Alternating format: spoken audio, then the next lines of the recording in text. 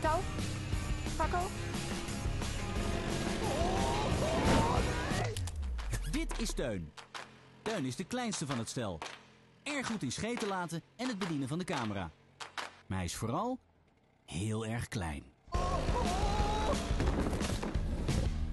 Oké, scène 10, vlammenwerper.